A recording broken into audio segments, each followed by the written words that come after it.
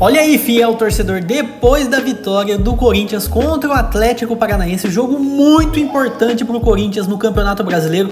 Corinthians conseguiu se afastar da zona de rebaixamento. O gigante Cássio, goleiro do Corinthians, teve uma atitude sensacional. Quem assistiu o jogo pôde perceber que ao apito final, Cássio tirou a camisa, atravessou todo o campo do Corinthians e foi entregar sua camiseta para uma família que estava com uma plaquinha pedindo a camisa do Cássio, falando que era aniversário e que eles queriam muito a camisa do gigante Cássio. O Cássio, com toda humildade, atravessou o campo e foi diretamente para a família, foi lá, pulou a placa de publicidade e entregou a camisa dele nas mãos da família e a família, muito emocionada, chorando, agradeceu o Cássio demais. Que atitude gigante do goleiro do Corinthians, um dos maiores jogadores da história do Corinthians. O que, que, você achou, fiel torcedor? Foi uma imagem emocionante. Deixe seu comentário aqui embaixo. Tamo junto, fiel torcedor. Vai, Corinthians!